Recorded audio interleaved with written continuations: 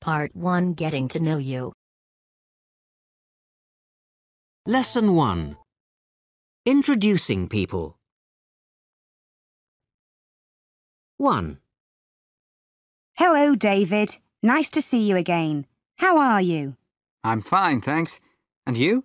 Very well, thanks. David, do you know Yang Chong? Yang Chong, this is David Kennett. He's our project director in Vietnam. Pleased to meet you, Yang Chong. How do you do, Mr. Kennett? 2. Excuse me, Dr. Brown. Can I introduce you to Professor Polsky from Macedonia? Anna, this is Dr. Harold Brown. He works in Rwanda. How do you do? How do you do, Dr. Brown? 3. Hello, Sharon. How are things with you? Okay, thanks, Hilary. Oh, this is Martin. He's my son. Martin, this is Hilary, my friend from Manchester. Hi. Hello, Martin. Lesson 2 What do you do every day? I do the same things every day. I wake up at 7, but I stay in bed until 7.15. Then I get up and have a shower. That really wakes me up.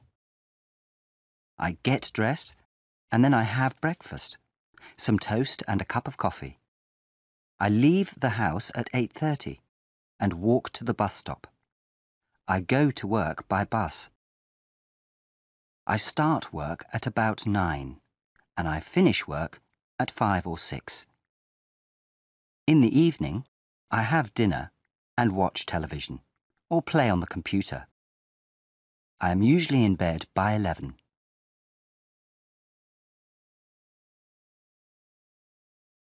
Lesson 3 Talk about your family.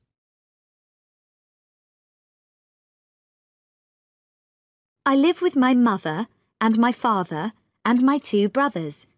They are called Owen and David. Owen is 20 and he's at university. David is 16 and he's at school, like me. I have two grandmothers and one grandfather. My other grandfather is dead. I have one uncle and one aunt. My aunt Janet is my mother's sister. They have two daughters. Rosa is 10 and Gemma is 14, like me. They are my cousins. Lesson 4 What can you do? 1. What do you do? I'm a maths teacher. Have you got a university degree? Yes, I've got a degree in maths and a PGCE. A PGCE? What's that? It's a postgraduate certificate in education. It means I can teach. So you teach maths? Yes, I teach maths in a secondary school. 2. What skills have you got? Well, I can drive. I've got a PSV licence.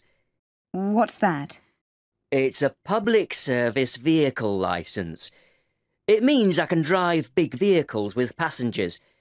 You have to take a special test to get the licence. So what do you do for a living? I'm a bus driver. 3. What do you do? I work in the tourist industry. I'm a travel representative. Do you need paper qualifications for that? No, but it helps if you can speak a foreign language. Can you? Yes, I can speak Spanish and Italian. And English? Of course. 4. What's your job in this company? I'm a personal secretary. I work for one of the directors. What do you do? Oh, I answer the telephone, make appointments for my boss, write letters, and prepare reports. Can you use a computer? Of course. I've also got an advanced certificate in office management. 5. What skills have you got? I can design and make beautiful clothes. I'm a fashion designer. Do you need any qualifications for that? Well, I've got a diploma from the London College of Fashion, but experience is very important in the fashion business. You learn on the job, really. Part 2 on the move. Lesson 1. Giving directions. 1. Excuse me, where are the toilets? Oh, they're over there on the right. I see. Thank you. 2. Can you tell me where the cinema is, please? Yes, it's in the square. Just go straight on for about 200 metres and you'll see it in front of you. 3. Excuse me, can you tell me where East Street is? Of course. Just turn left at the next set of traffic lights. That's East Street. Oh, thank you. 4. Excuse me, where's the tourist information office? Let me see. Ah, yes. Go straight on at the traffic lights. You can't miss it. Thanks. 5. Excuse me, where's the nearest public telephone? Ah, it's in the post office. It's on your left as you go in. Ah, thanks. 6. Excuse me, do you know where the Blue Parrot Cafe is? Yes. Turn right at the next corner, and you'll see the sign. Great. Thanks. Telling the time. 1. Excuse me, what time is the bus to Oxford? The next one leaves at 9 o'clock. And when does it get there? It arrives at half past 10. That's great. Thank you. 2. Good morning. Can I help you? Yes, please. When does the train for Paris leave? It departs from platform 6 at half past 11. And when does it arrive? Four o'clock in the afternoon. OK, thank you. 3. Excuse me, what time is the next flight to Amsterdam? The next one is at 12.30, and it arrives in Amsterdam at quarter to two. That sounds fine. Thank you. Lesson 3. What are you going to do? Track 1. Hi, Rebecca. Hi, Tim. Are you going to Anita's party on Friday? Of course. All the people from work are going. Great. I'm going too. What about Saturday? Do you want to play tennis? No, sorry. I'm taking the cat to the vet in the morning. What about the afternoon? No. I'm going to town to buy some clothes. Sunday? Sunday is fine. Great. Is three o'clock okay? Three is perfect. Okay. I must go now. Bye. Bye, Tim. Track 2. 1. I am going to a concert next week. There's a wonderful programme with songs from my favourite operas. 2. We are going to Australia next month. We are visiting my son. He lives in Sydney. 3. We are going to the art gallery this morning, and in the afternoon we are shopping. 4. He is playing in a tennis tournament all day tomorrow. 5. They are travelling to Bangkok on Sunday. We are seeing them off. Their flight leaves at 6 o'clock. Lesson 4 Asking about places. 1. Excuse me, where's the Science Museum?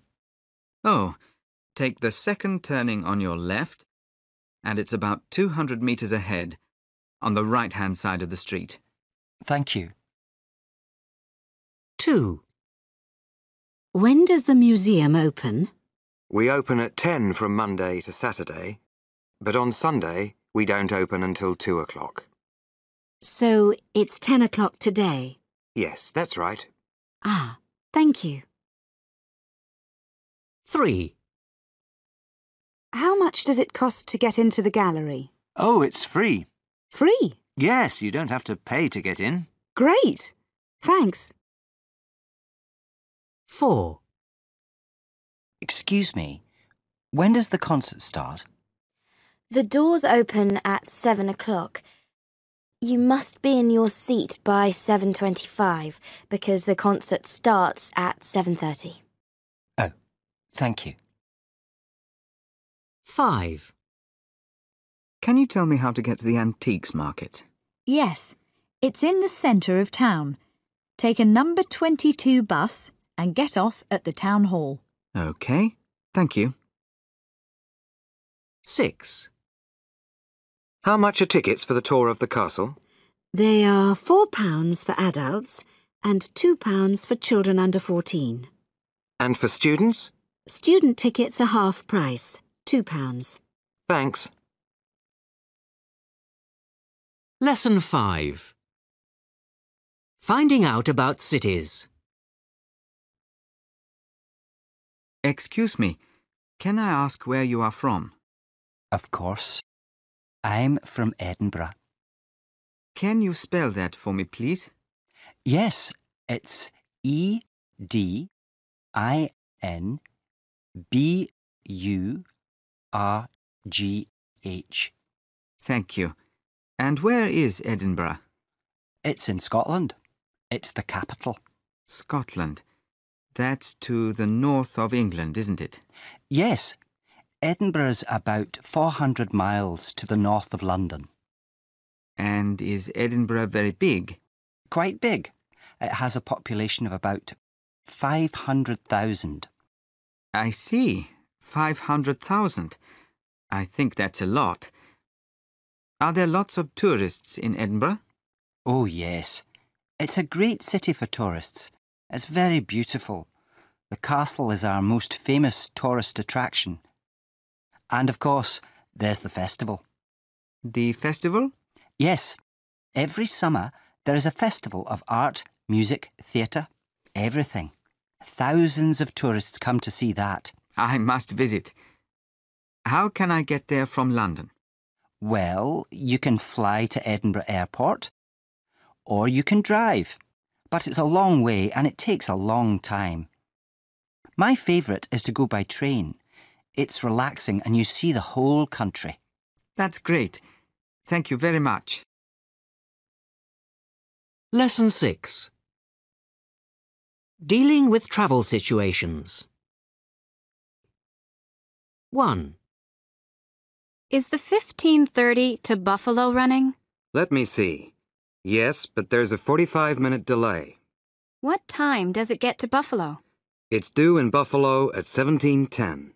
Thank you. 2. Excuse me, can you help me, please? Yes, sir. What can I do for you? I, I want a hotel in central London. Is that just for one night? Yes, it is. Let's have a look. The Cavendish in Bryanston Square has a double room available at £95 a night. Well, that sounds okay. Where is Bryanston Square? 3. Hello. Is that the Belmont Conference Center? Yes. How can I help? I have a meeting in room 112 with Mr. Curtis. Unfortunately, my train is delayed, so I'm going to be late. Room 112? Hold on a moment. I'm putting you through. Thanks.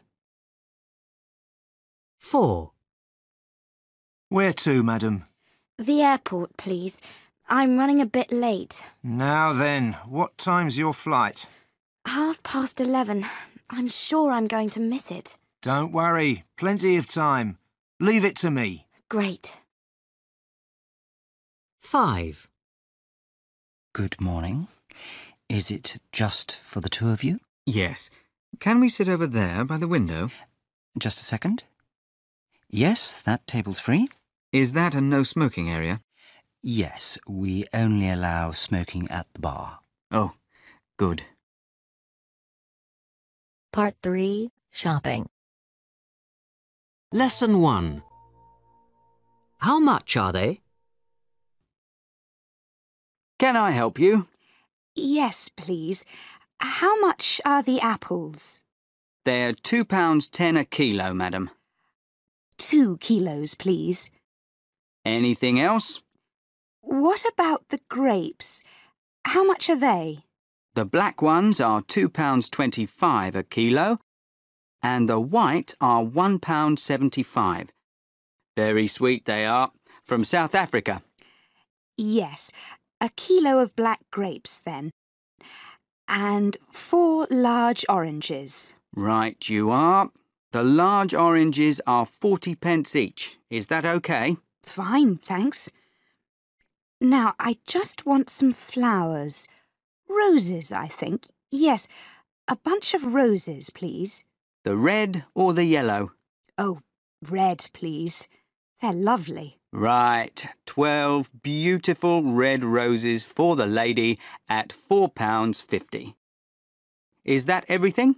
Yes, that's all, thanks. That's twelve pounds fifty-five, madam. Twenty pounds, thanks. And seven pounds forty-five change. Thanks. Have a nice day. Lesson 2. Let's have a takeaway. 1.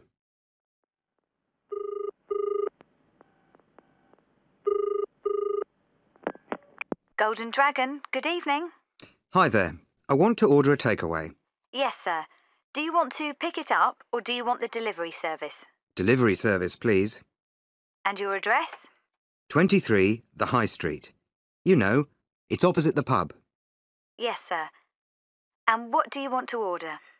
Uh, number 43, that's chicken with black bean sauce. And a number 68, special fried rice. Is that all, sir? No, and a number 21, sweet and sour pork with noodles. Yes, sir. So it's one number 43, chicken with black bean sauce, one number 21, sweet and sour pork with noodles, and one special fried rice. That's right. How long do you think? About 15 minutes, sir? Great. Thanks. Bye. Goodbye, sir. 2.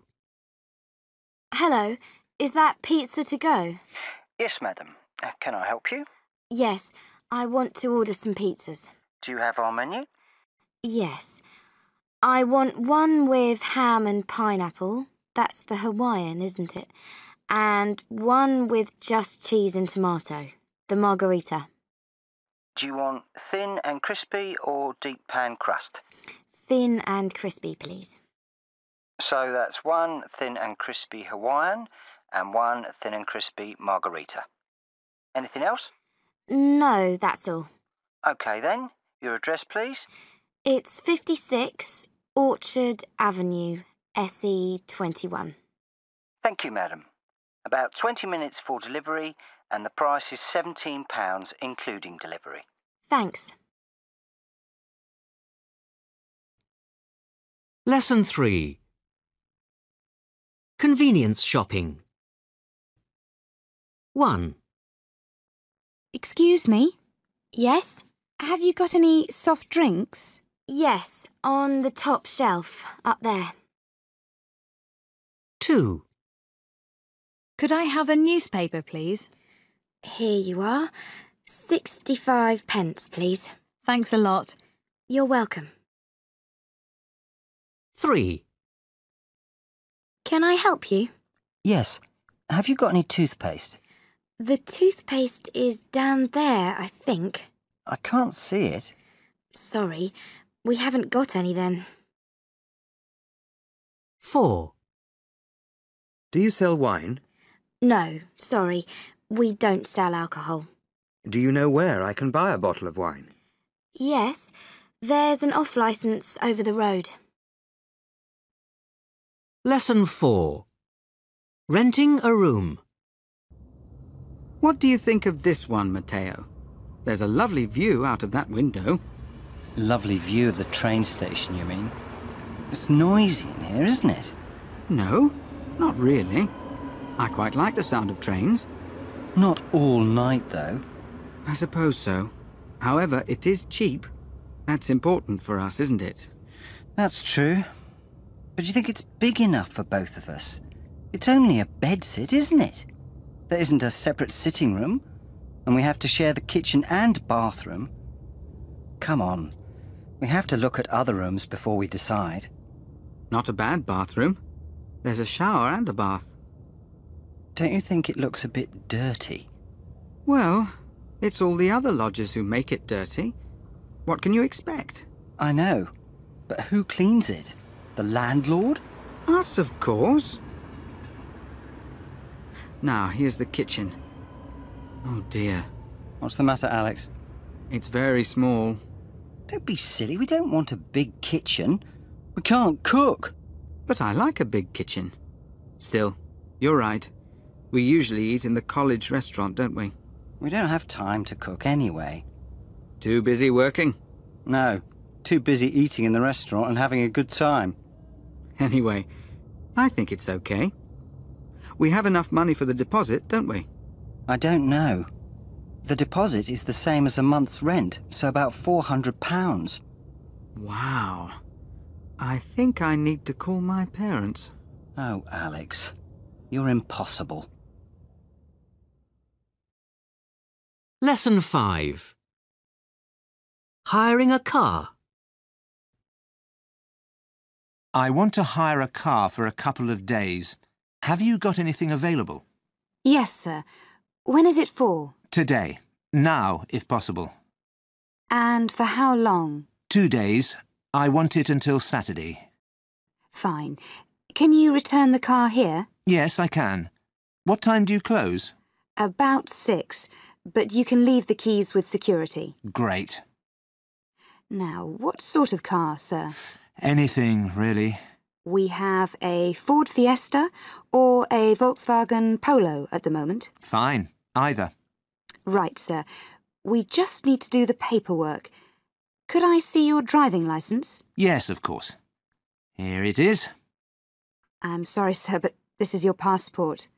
Oh, yes. How stupid of me. Oh, dear. I. I don't seem to have my driving licence with me. Must you have it? Yes, sir. I need to see it before I can let you have the car. Of course. May I use your phone? I want to phone my wife to see if my licence is at home. Yes, sir. Here you are. Lesson 6. How do you like to shop? 1. Two kilos of apples, please. The big ones or the small ones, Pet? How much are the big ones? 75 pence a kilo, so that's £1.50 to you, OK? Thanks. And the bananas, how much are they? 2. This model has got a widescreen, teletext, remote control, and, as you can see, a very good picture. And what does it cost? To rent or buy, madam? Oh, I don't know. Well, you can rent it for £17.50 a month, or you can buy it for £765. Of course, if you rent it from us, we will come and repair it for you, or replace it if anything goes wrong. I see. Well, I was going to buy it, but perhaps. Mm, it's a lot of money, so yes, I think I will rent it. Very good, madam. Let me explain the procedure then. 3.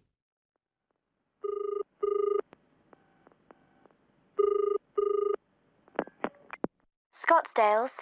Julie speaking. How can I help you? Hello. Yes, I want to order some things from your catalogue. Could I have your customer reference number, please? It's on the first page of your catalogue. I see. It's 4782XR. Thank you. That's Paul Gallagher of Lee Farm, Newmarket, is it? That's right. And what is your first item? It's number 31LR. The table and matching set of four chairs. Yes. And the cost is £450, including special delivery. OK. And your next item. No, no. That's all. Thank you, sir. Can I have your credit card details, please? Yes. The number is 4763. 4. Can I help you? Yes, I want to book a flight to Amsterdam. When do you want to fly? Next Monday, if possible. Let me see. There are seats available on the 7:50 a.m., 9:40 a.m., and 3:15 p.m. from Heathrow. How much? £139 return if you stay Friday and Saturday night. Oh no, I have to be back on Wednesday.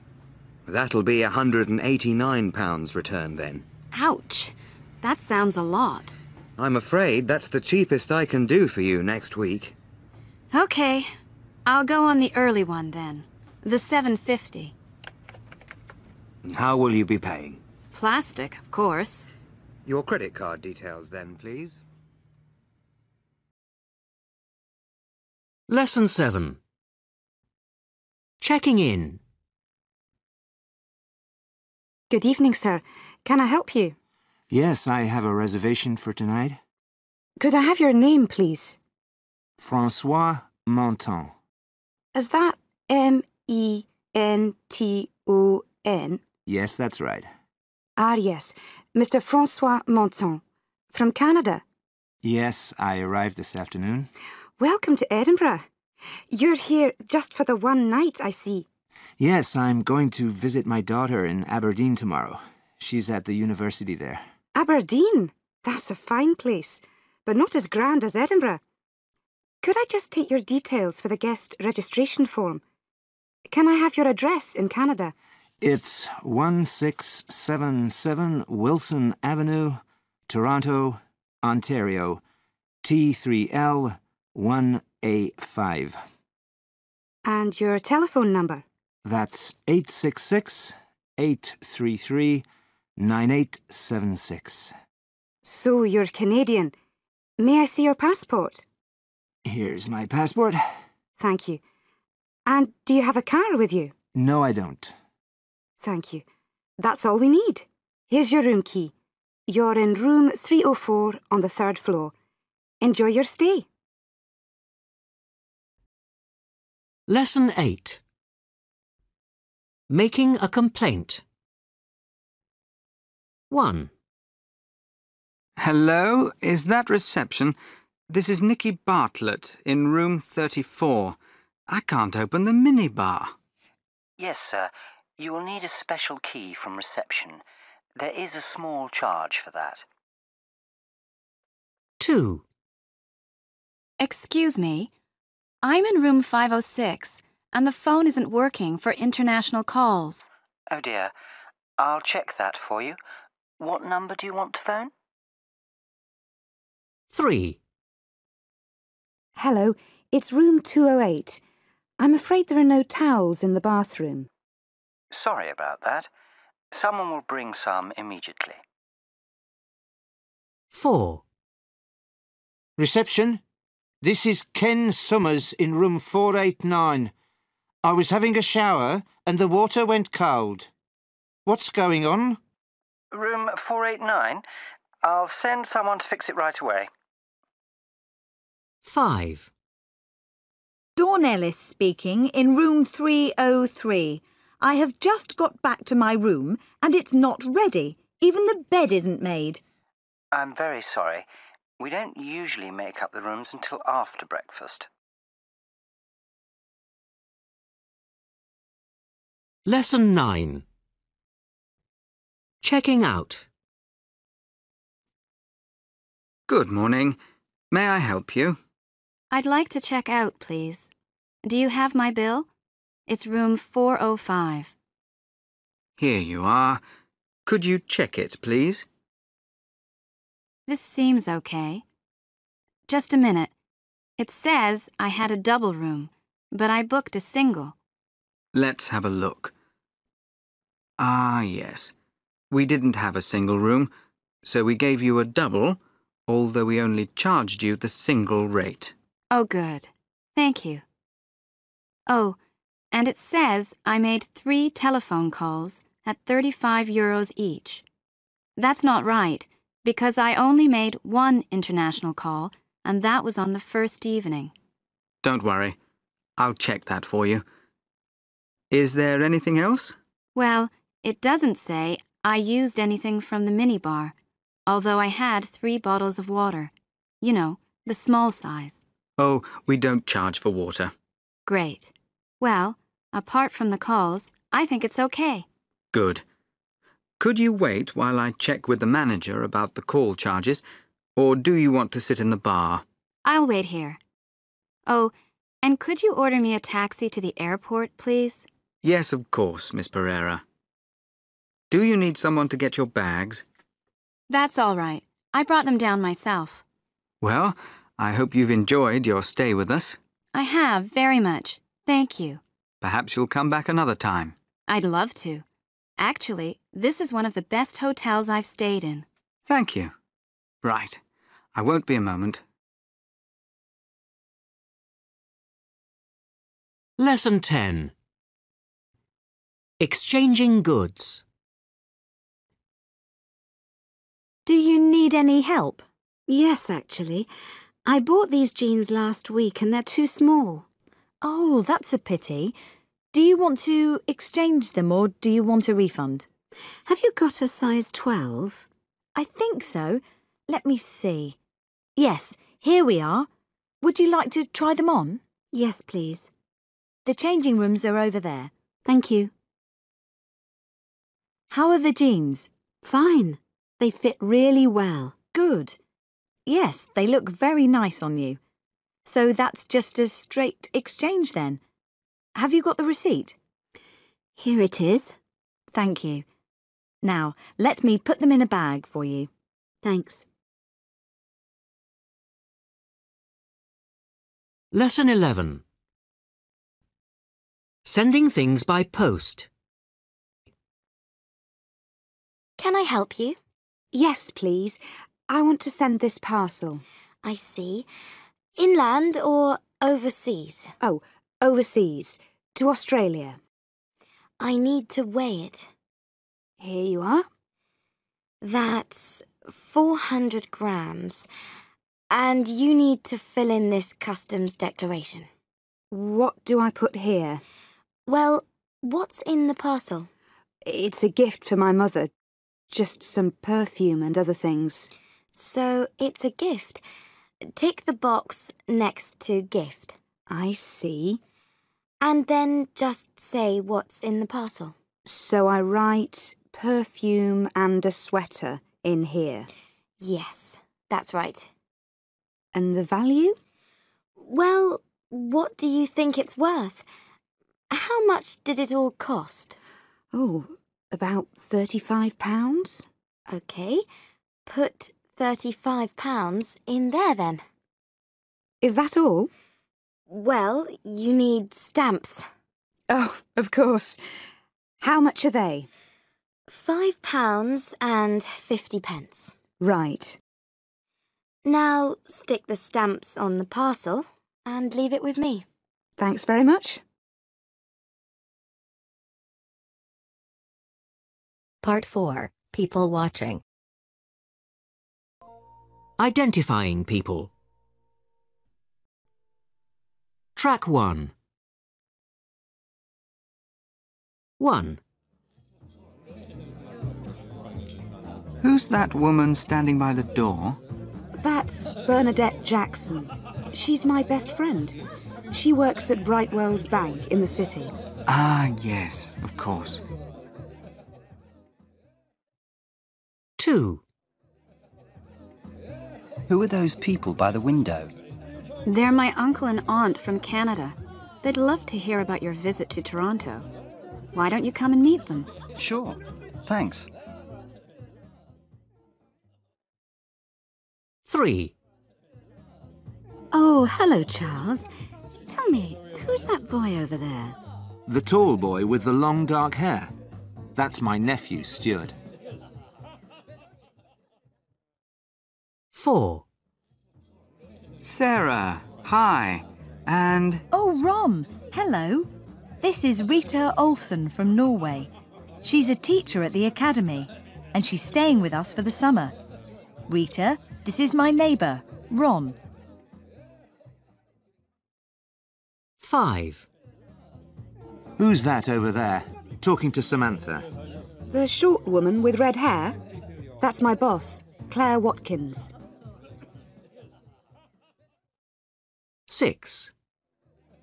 This is a lovely photo. Are these your grandchildren, Imogen?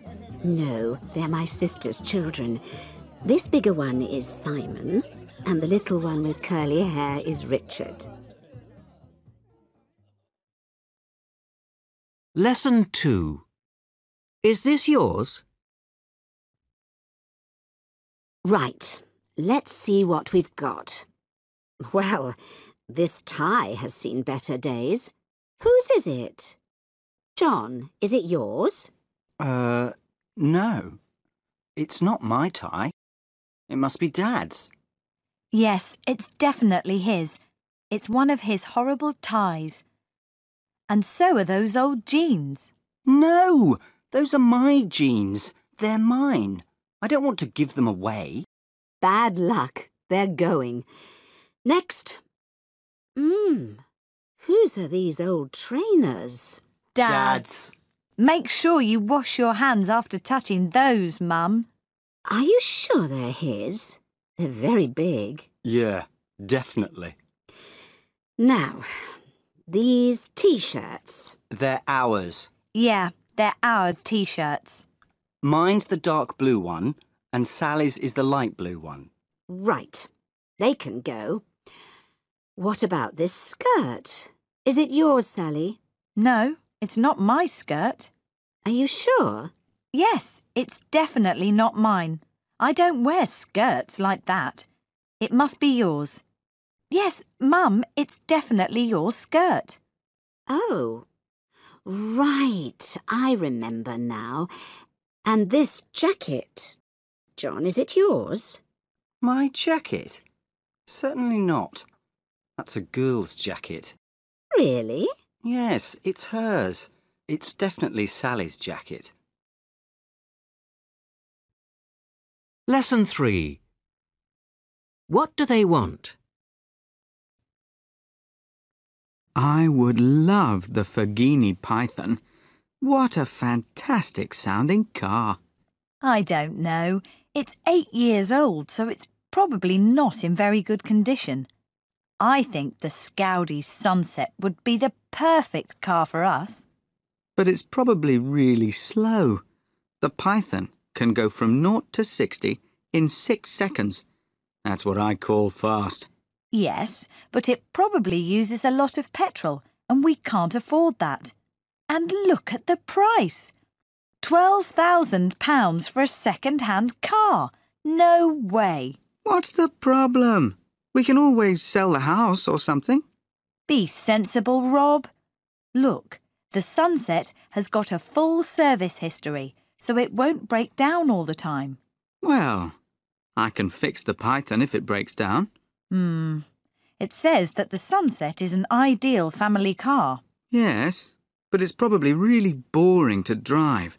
In the Python, can you imagine it? Roof down, on the motorway at top speed. Brilliant. It's cars like the Python that cause pollution, you know. Lesson 4 Comparing people. All right. We've interviewed all three candidates. Who do we think is the best person for the job? They were all good, weren't they? Yes, but I thought that Ms. Lee was more interested in the job than Mr. Teffany. I agree. And Mr. Hanley was more interested than Miss Lee. Hmm. What about their experience? Well, Mr. Teffany has more experience than Mr. Hanley. And experience is very important. Qualifications? They are all really well qualified for the job. Both Mr. Teffany and Mr. Hanley have all the right qualifications, but not as many as Miss Lee. Mr. Teffany is a bit older than the others, isn't he? Yes, but I don't think that age is too important. No. Experience and qualifications are more important. And languages, of course. Who do you think speaks the best French? Hmm. Mr. Teffany doesn't speak it as well as Mr. Hanley.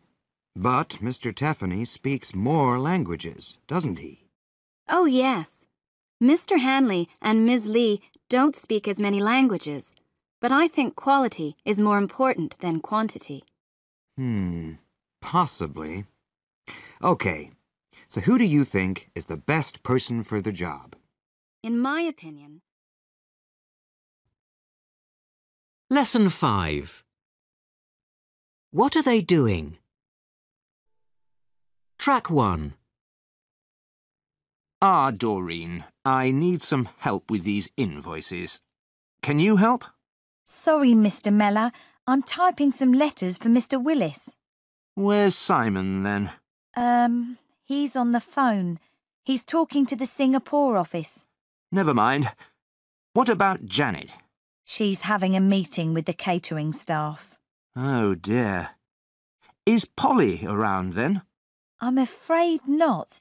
She's working at home today. She should be back tomorrow. It's not my lucky day today. Ian? He's doing some shopping. You know, buying things for the office. Rob? He's showing Helen how to use the new computer. Mm. Rick? He's fixing his car. A small problem with the exhaust pipe. Joanne? It's her break. She's eating her lunch in the park. But it's raining. Is it? Oh, yes, so it is. Never mind. I'll come back later. All right, Mr. Meller. OK, everybody, he's gone. You can come out of the stockroom now. Thanks, Doreen. Oh, cheers. Thanks a lot. We thought he'd never go.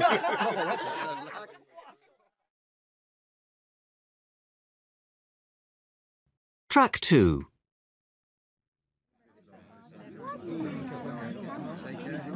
All right, everyone. Let's get started. Um, Polly, are you listening? Yes, Mr. Meller. Then stop talking to Doreen, please. Now, the first thing we need to... Simon, where are you going? Sorry, Mr. Miller. I've just remembered. I've left my phone in my office. Well, get it later. Now, as I was saying, we really need to... Rob, what are you reading? Oh, sorry. It's an email from my wife. She wants me to buy some bread on my way home. I'm really not interested in your shopping list, Rob. Pay attention, please. Now, the first thing we need... Uh, Rick, why are you looking out of the window? Oh, no reason, Mr. Miller. No, come on, Rick. What are you looking at? There are some teenagers outside in the car park. Come on then, Rick. What are they doing? They're trying to steal your car. What? Quick, Quick! everybody out! This will be funny. Come on.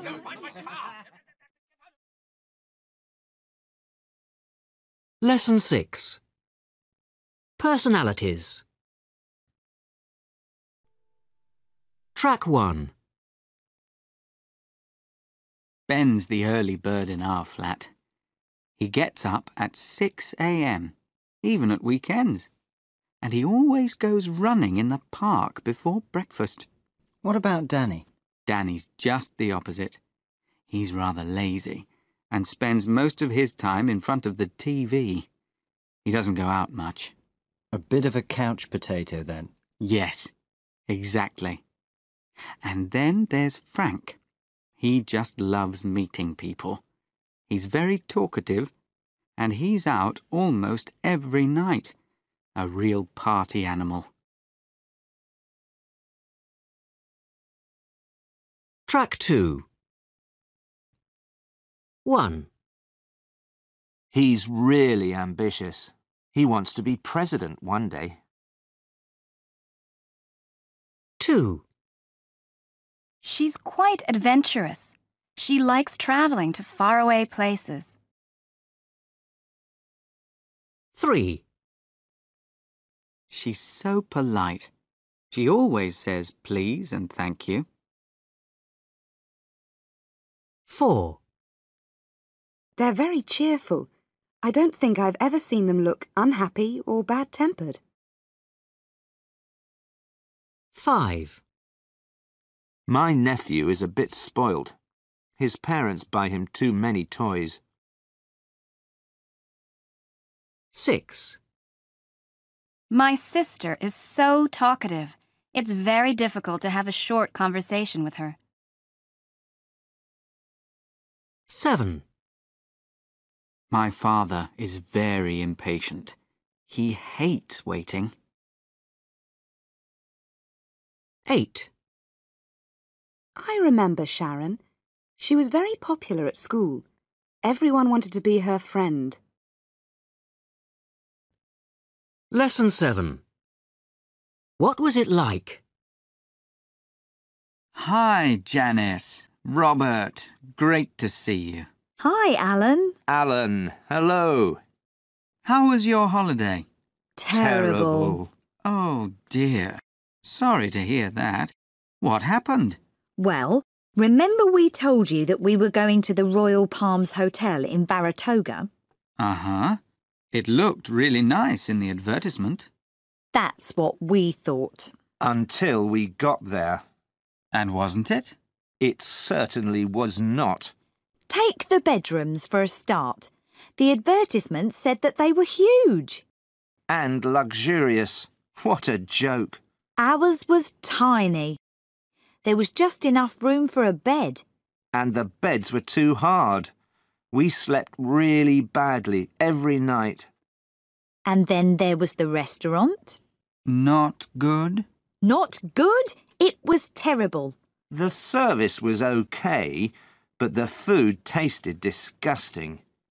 And it was the same thing every day. Chicken, potatoes, peas. Chicken, potatoes, peas. Well, at least you had a nice beach to relax on. Oh, no, we didn't. We certainly did not. What do you mean? The beach was disgusting. It was really dirty. Rubbish all over the place. Dead fish. Ugh. And even if we wanted to sit on it, we couldn't. Why not? Because it rained every day. The hotel didn't tell us it was the rainy season before we went. And don't get me started on the pool. Olympic sized, wasn't it? Olympic sized? Ha! Bath sized, more like. If there were more than three people in it, you couldn't move. And then, of course, there were the friendly staff. They were so rude. They treated us like we were in prison. One of them even shouted at us when we left our bedroom lights on one evening. Whatever you do, Alan, don't go there. Hmm. Sounds terrible. Think I'll give it a miss. Are you going to complain? We certainly are, and we want our money back. Lesson 8. Then and now. I have with me in the studio Charlie Rickman, the man who made and then lost over 65 million pounds. Charlie, hello. Hello there. Sixty-five million pounds? That's quite a loss. How did it all go so wrong? Well, my internet company, Rickman.com Limited, was doing well. Sales were good, and I was making more money than I could spend. By the time I was 21, I was already a millionaire. Five years later, I decided to hand over the running of the company to my brother. Raymond? Right. That was a big mistake. He managed everything very badly. We had lots of competition from other companies, and, well, that was it. And now you're working 12 hours a day in a supermarket, filling shelves and helping customers. You must have had quite a change of lifestyle. Your house, for example? Right. I used to live in a huge house. Sixteen bedrooms, swimming pool, tennis courts, and so on. Now I live in a caravan in my mother's garden. And presumably you don't get out much. Unfortunately, no. I used to enjoy eating in restaurants almost every night, but now I cook my own meals. And nothing fancy, either. When things were going well, I used to eat lobster and drink champagne. Not any more. Now it's toast and a cup of tea, if I'm lucky. Ouch! Well, welcome back to the real world. What about your free time? Well, to be honest, I don't get much free time. In the past, I used to watch a lot of television, but now I can't even afford the television license. These days, I read a lot instead. I can get books free from the library. And of course, I used to spend hours every day talking to my friends on the phone. Now I can't afford the phone bills, so I write to them instead. Mind you, I don't seem to have many friends left. Nobody wants to know you when you don't have any money. Did you find it difficult starting work again? Oh, yes. I used to take it easy and relax as much as possible. Now I work up to 12 hours a day. Well, thank you for coming to talk to us, Charlie. You're welcome. Hey, any chance of 50 pence for a cup of tea? Lesson 9 Party People Track 1 Would you like a cigarette? Not for me, thanks. I used to smoke, but I gave up last year. What about a glass of wine? No, thanks. I used to drink, but my doctor told me to stop. Perhaps a cup of coffee instead? No, thank you. I used to drink coffee, but it stops me sleeping. Well, would you like to try one of these chicken pieces? Uh, no. I used to eat meat, but now I'm a vegetarian. Um, I see. Would you like to dance then? No, thank you. I used to dance, but I hurt my leg in a skiing accident. Aha. What about singing some karaoke? Yes, great idea. I used to be very shy, but now I love singing in public.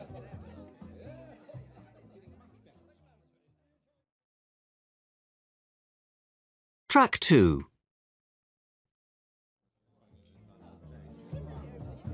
Who's that over there, by the door?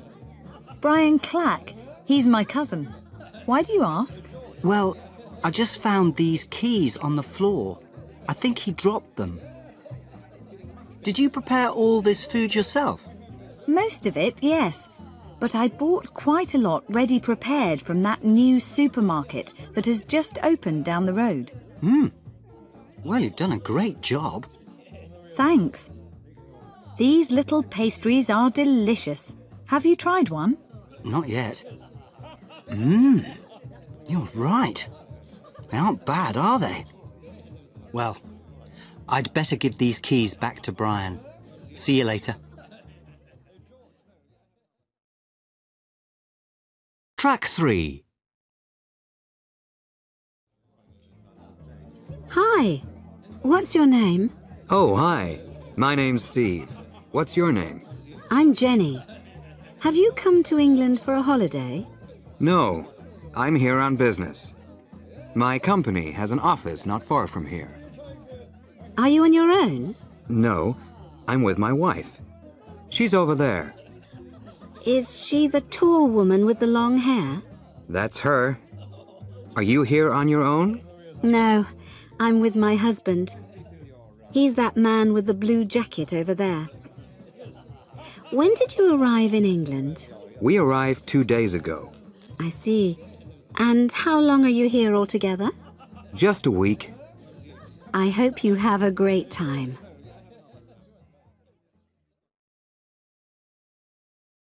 Part 5. Attention. Lesson 1. Giving orders and making requests. Good morning, sir. Could you show me your ticket and boarding pass, please? Here you are. Thank you. Please put your bag on the table. Have you just got one piece of hand baggage? Yes. Fine. Would you mind opening the bag for me? Of course. Right. This camera. Is it yours? Yes, it is. Is there any film in it at the moment? Uh, no. Good. Would you open the back for me, please? Okay. See? Empty. That's fine, sir, thank you. Are you carrying any metal objects on you? Yes, my keys and a lighter. They're in my jacket pocket. Would you mind putting them in the tray, please? And then walk through the metal detector. There you go. Thank you. Everything seems fine. Thank you for your time, sir. Have a nice flight. Lesson 2. Following and giving instructions. Oh, hi, Judy. Can I ask you for a favour? What's that, Tom? I need to give a presentation to the directors tomorrow, and I need a CD player. I don't suppose I could borrow yours, could I? Well, all right. I keep it under my desk. Here you are. Great. Thanks a lot. Uh, how do I use it? You don't know how to use a CD player? Um, well, you know, uh... OK. It's really quite easy. First of all, you plug it in. Put the plug in the socket. There's one next to my computer. OK. Done it. Now what? You turn it on, of course. How do I do that? Press the power button on the top of the machine. This one here, on the left. Right. And then? Open the CD tray. How do I do that? Press the lid gently, and it opens. See? Yes. OK. Right. When you've done that, put your CD in. Have you got it with you? Yeah. Here it is. All right. Put the CD in. Then close the tray. Just push the lid down gently. All right. And how do I play it? Press the play button. The one on the right. Like this? Uh-huh. Oh. I can't hear anything. You need to adjust the volume. Turn the volume control to the right. To stop the CD, press the stop button. That's this one. Easy. Thanks a lot, Judy. I'll return it tomorrow. No problem. Just be careful with it, that's all. Lesson 3 Giving advice. So, Ron, off on holiday tomorrow. You must be excited. Well, nervous, really. I've never been on an aeroplane before. It's a whole new experience for me. Well, I wouldn't worry about it. Flying's supposed to be one of the safest forms of travel. But let me give you a bit of advice. OK. First of all, wear loose, comfortable clothing, especially if it's a long flight. Your body gets bigger in an aircraft, so you need a bit of room to expand. You're joking. No, I'm quite serious. Secondly, take a good book to read. Flying can be very boring, and the films they show on aircraft are usually rubbish. Good book. OK. Arrive at the airport early and check in as soon as you get there. That way you can choose a good seat and then have some time to relax. Ask for a seat near the front of the aircraft. Why? Because it's quieter there. You're not so close to the engines. Now, before you get on the aircraft, eat a light meal, a sandwich or something. Airline food is usually pretty bad. OK. During the flight itself, drink plenty of water and avoid alcohol. Your body loses water in an aircraft, so you need to replace it. Oh, and if it's possible, walk around the cabin occasionally. Stretch your legs. Great. Well, thanks a lot. Lesson 4 Giving advice. 1. This jacket is really old. That's true. You should get a new one. 2. I've got a terrible headache. I'm not surprised. You spend too long on your computer. 3. I'm tired all the time. Of course you are. You work too hard. 4. Call the police! Someone's stolen my wallet. Calm down. Maybe you left it in the restaurant. Why don't you call them first? 5. I think it might rain. It is getting very cloudy. You should take an umbrella with you. 6. I never seem to have any money. Is it any wonder you spend it all on CDs? 7. What time do trains for Boston leave? I've no idea. How about calling the station to find out? 8. I hate this terrible weather.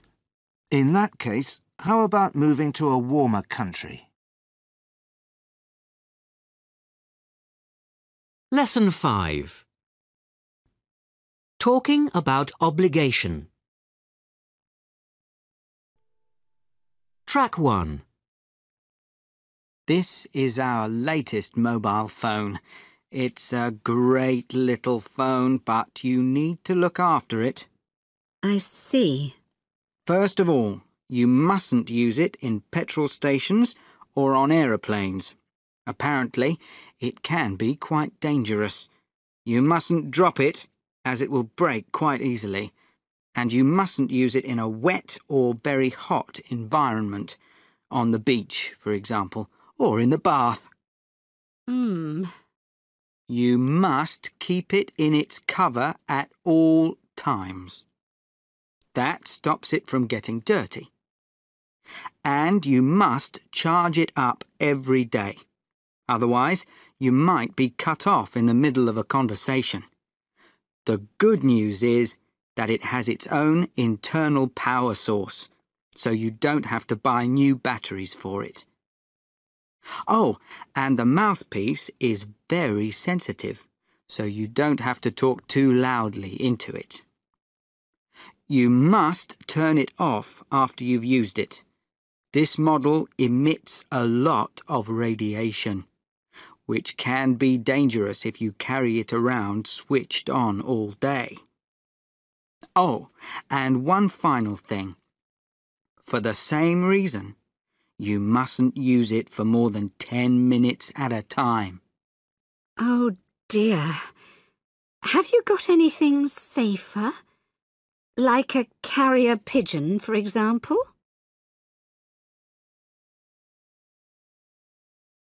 Track 2. Good to see you, Peter. Welcome to Multi-Tech Systems. Thank you. Now, before you get started and meet the others here, I must tell you about a few company rules, OK? OK. First of all, we begin work at nine o'clock every day. But you have to be here at half past eight on Monday mornings because we have a meeting to talk about the week ahead. All right. Do I have to come early on any other days? No, just Monday. The working day ends at five o'clock. You mustn't leave earlier than that without asking me first. Is that clear? Uh-huh. You have one hour for lunch, and there's a restaurant on the second floor. Although, of course, you don't have to eat there if you don't want to. In fact, many of our employees go out for lunch. But you must make sure you're back in the office by two o'clock. All right. Now, the office equipment. There's a photocopier, which everybody can use, but you have to have a special code number to operate it. Yours is 3865. All right? 3865. Right. If you have any problems with the machine, see me. You mustn't try to fix it on your own. I wouldn't dream of it. Is there anywhere I can get a coffee? Yes, there's a coffee machine in the hall. Do I have to pay for it? No, it's free. You don't have to pay anything for hot drinks. There's also a facility...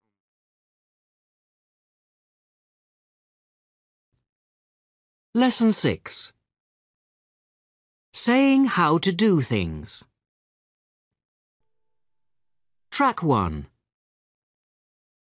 Hello, and welcome to today's edition of Move On, Move Up. Now, interviews. Love them or hate them, you can't avoid them. And to point you in the right direction, I have in the studio Mark Alton, manager of All Cell Estates. Hello, Mark. Hello, Sandy. Now, Mark, I understand that over the last five years, you have interviewed more than 200 people for positions in your company. That's right. Some good, some, well, not so good. So, what, in your opinion, is the secret of a successful job interview? It's nothing complicated, really. First of all, dress well. Put on the smartest clothes you have. Secondly, be prepared. Think carefully about what you're going to say before the interview. Find out as much as possible about the company and make a list of questions you want to ask. And on the big day, make sure you arrive on time. Of course. It's fine to arrive on time or even to arrive a little early. But whatever you do, don't arrive late. You don't want to seem unreliable. What about during the interview itself? Don't speak too slowly or too quickly. Take your time, but don't send the interviewer to sleep. Speak clearly. Don't mumble or cover your mouth. And don't try too hard to impress the interviewer. This can create a negative impression. But what if things don't go your way? Well, if you think things are going badly, don't panic. Act calmly and continue to answer any questions to the best of your ability. Try to stay in control. Sometimes things aren't as bad as they seem. Mark Alton, thank you for coming on the show. You're welcome. Now, to that essential question that everybody wants the Lesson 7 Talking about quantity. 1. We'd love to help you, but unfortunately, we haven't got much time before our train leaves. 2. You should visit London when you are in England. There are a lot of good museums that I would recommend. 3. I enjoy a good social life. I have some really good friends. 4. My social life isn't great. I don't have many friends. 5.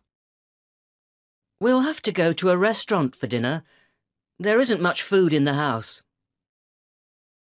6. Let's eat at home tonight. There's lots of food in the house. Lesson 8 Making suggestions and talking about probability. A. I'm late. I'm going to miss my bus. If you run, you might catch it. B. I've got a terrible headache. If you take a couple of aspirin, it should get better. C. This plant doesn't look very healthy. If you give it some water, it should revive. D. The computer isn't working again. If you call an engineer, he might fix it for you. E. Poor Fido doesn't look very well. If you take him to the vet, he should be all right. Lesson 9 Describing something that is happening now. Morning, Dolores. Oh, good morning, Mr. Meller. Is Miss Edwards in her office? Yes, but you can't see her at the moment. She's being interviewed by someone from the local radio station. Right. Well, when she's finished, could you ask her to come and see me in my office? Oh, you can't use your office today, I'm afraid. I can't? Why not? Didn't anyone tell you? It's being decorated. Oh, great. Well, in that case, I'll be in room 17. Sorry, Mr. Meller. Some new furniture is being put in. All right. What about room 21? It's being used by Mr. Walton. It's not my lucky day, is it? Room 28? Uh, sorry. A new computer is being installed. This isn't very good, is it? Room 35? Um, not there either. The windows are being cleaned. But they won't take long. Oh, well. In that case, I might as well sit here with you and have a coffee. Sorry, Mr. Meller. There's no coffee. The machine broke yesterday and it's being repaired. All right. I'll go and sit in my car for half an hour. Not possible either, I'm afraid. Why on earth not? From where I'm sitting, I can see your car. So? Like you said, it isn't your lucky day. You parked it on a double yellow line.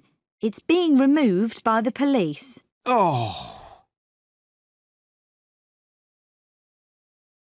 Lesson 10.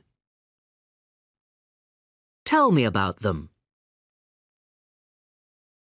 So, what do they do, these people? Well, Susanna's the boss. To be honest, I'm a bit frightened of her. Frightened of her? Why? It's her whole manner, you know, the way she behaves. I mean, she's always satisfied with my work and everything, and we have a lot in common, but she's so serious about her job, and she's not very friendly.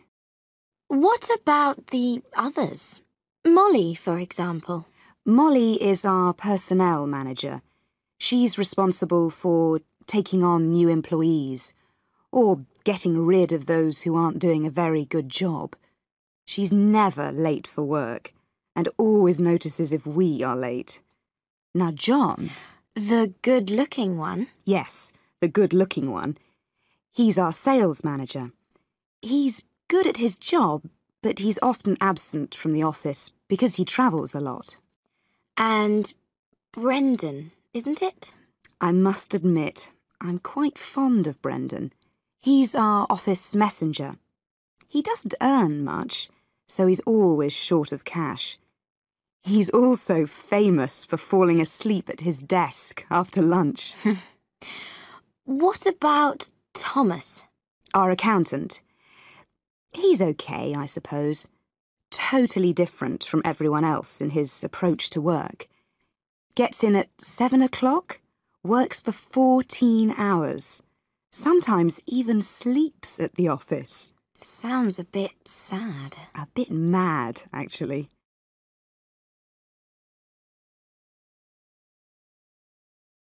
Part 6 Tell me about it. Lesson 1. Asking about past events.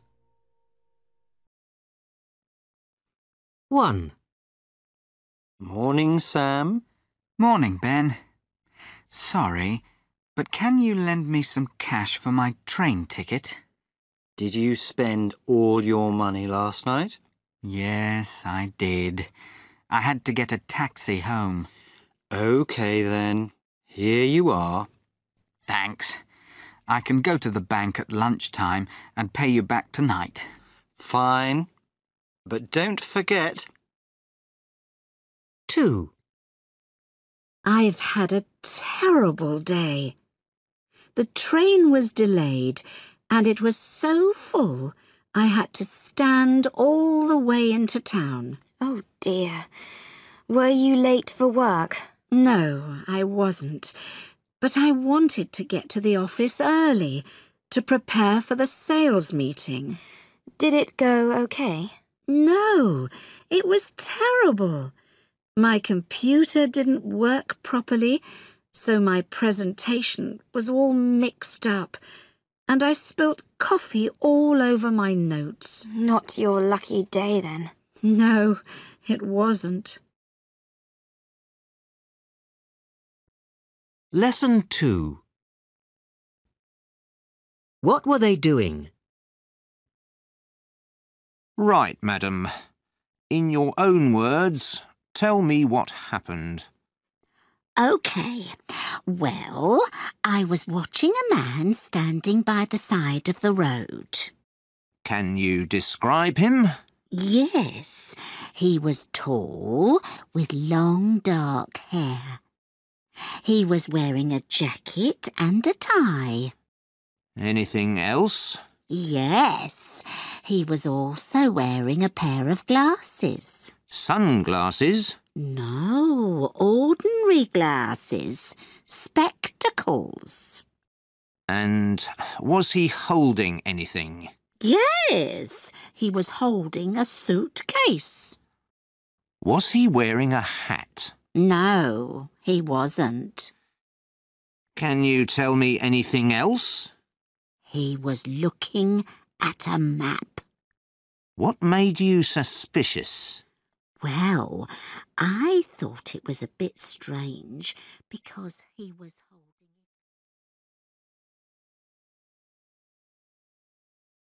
Lesson 3 Telling a story. Track 1 1. I asked the cashier what the rate was and then gave her my dollars. Suddenly, a man came in, pointed a gun at her, and demanded £5,000. I just didn't know what to do. 2. Before I was able to save everything to the disk, the screen went blank, and then a box appeared saying I had performed an illegal operation. The whole thing then stopped working. Can you believe it?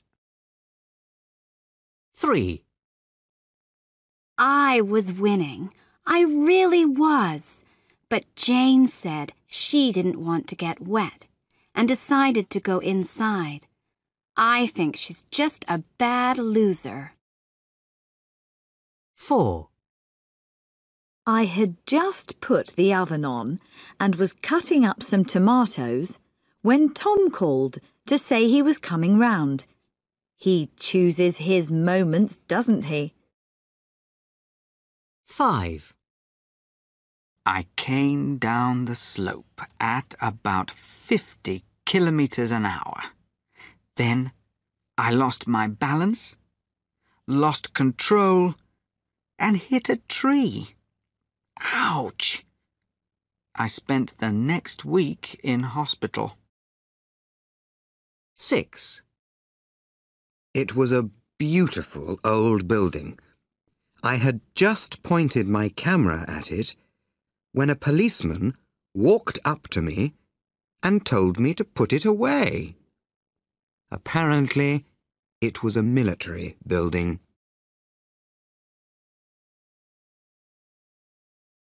Track 2. Can I help you, sir?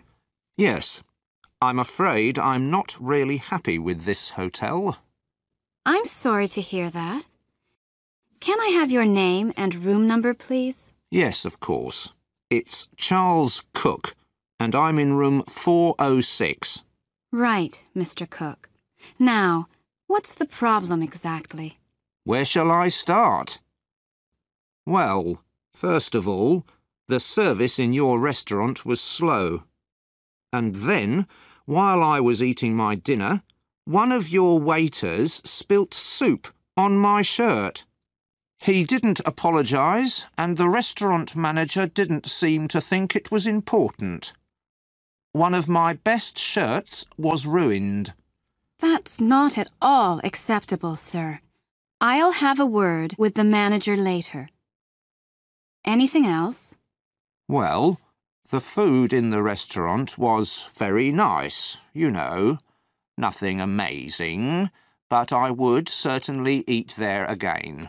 However, an apology and an offer to clean my shirt would have been nice. Oh, I agree. I'll see what I can do. Thanks.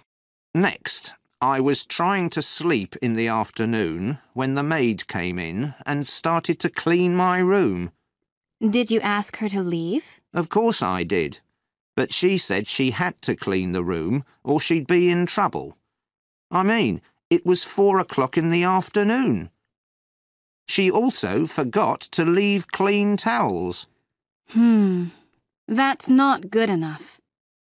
How is your room? Oh, wonderful. One of the nicest rooms I've been in. But I'm not here to compliment you on your rooms. Of course not, sir. Anything else? Yes, I ordered a meal to be brought to my room. It took almost an hour to arrive, and when it did, it was cold.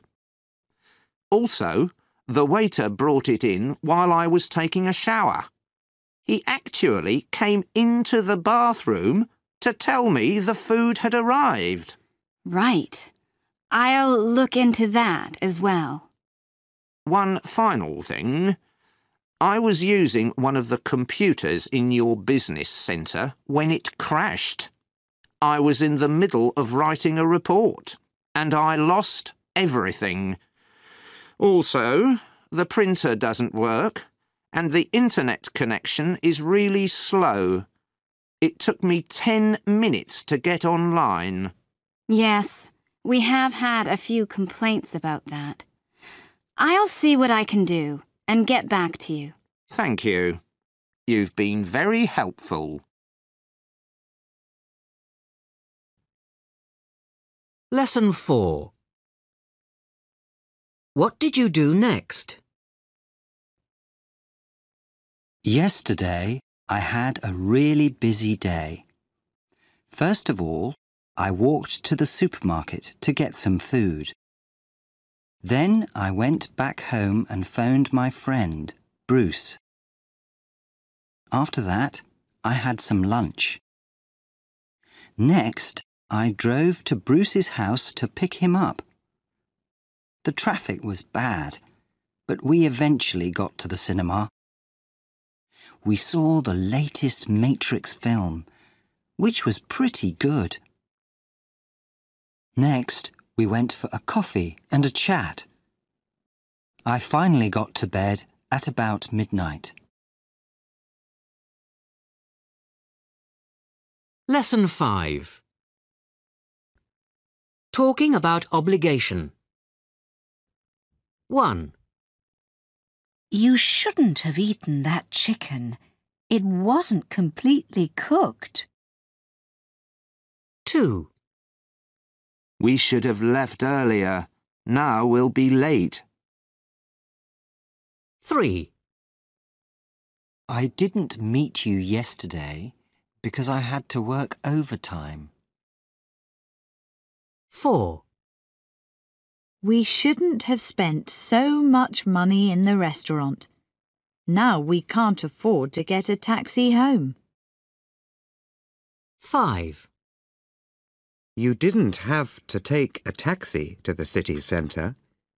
There's a cheap, reliable bus service. 6. You should have told your boss you would be late.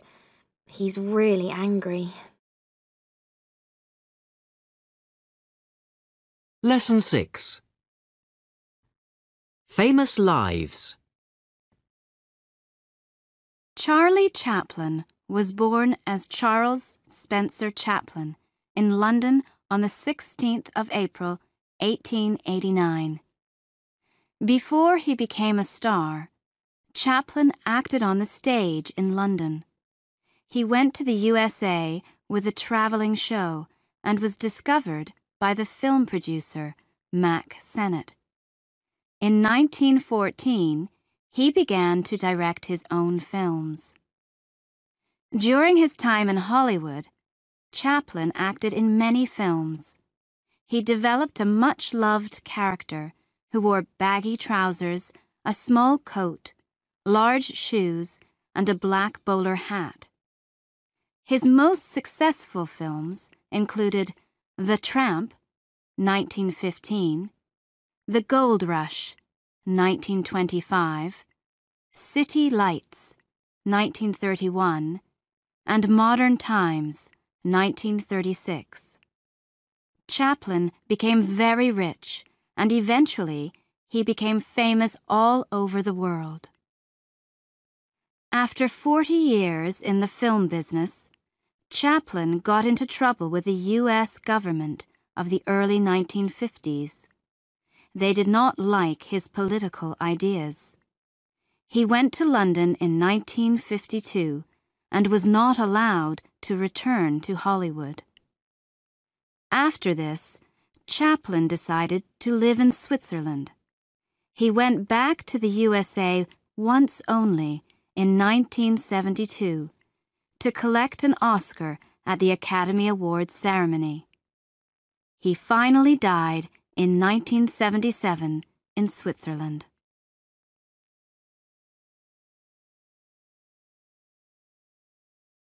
Lesson 7 Promises and Resolutions January the 1st again. And I've decided to make a few resolutions. Let's hope I can keep them this year. First of all, I want to give up smoking. It's bad for my health.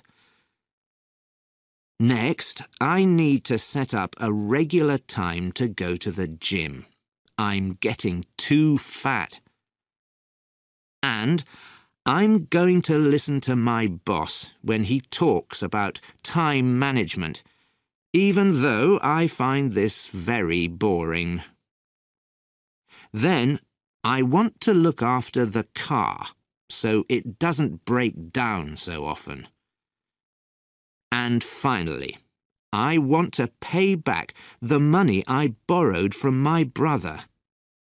I borrowed it last year, and I haven't paid it back yet.